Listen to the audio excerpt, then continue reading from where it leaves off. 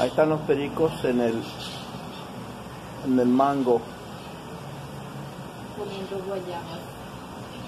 En el mango comiendo guayabas.